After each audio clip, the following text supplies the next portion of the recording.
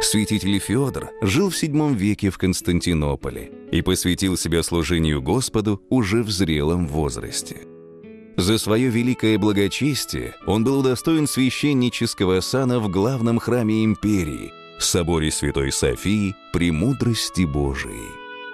Вскоре святой Феодор был избран в Патриарший совет и стал главным помощником в различных делах самого святейшего патриарха Константина I.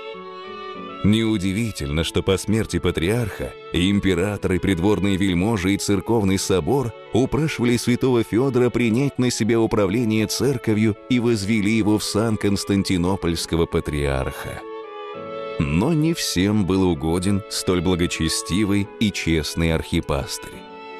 И через два года, по наветам врагов своих, святитель был низложен с престола – Однако по закону христианскому справедливость все же восторжествовала, и святой Феодор был вновь возведен на патриарший престол. Он мудро и с полной самоотдачей управлял Константинопольской церковью до самой своей кончины, которая последовала в 686 году.